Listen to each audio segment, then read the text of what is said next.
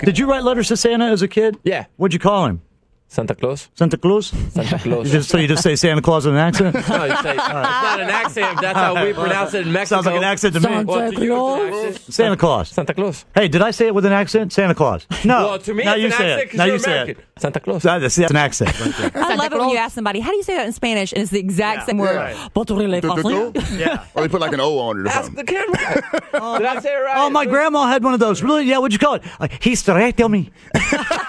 Uh, hysterectomy. Uh, he's, uh, hysterectomy. Why are you making fun of the way we say I'm Santa not. I'm not making That's how I love Claus. it. I love it. Y los Santa tres Claus. Reyes Magos. I wrote a couple letters to Santa. You know, I'm, I was Did a- you leave Santa Claus cookies? I'm sorry. Did you leave him cookies or did you leave him? No, I left the horchata. I'm going to laugh all day about hysterectomy. Santa Claus. Santa. Santa. hysterectomy.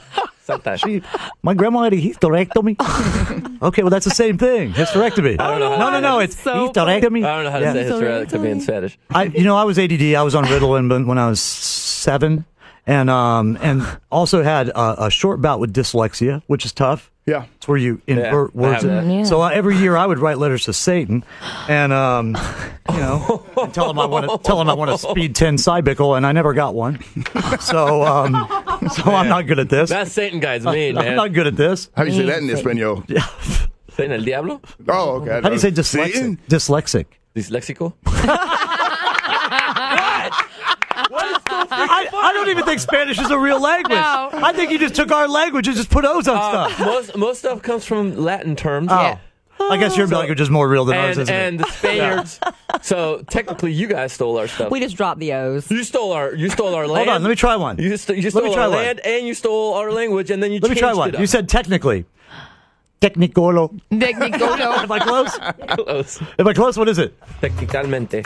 Thank you. What, what is it? Technica- technicalmente. Technicalmente.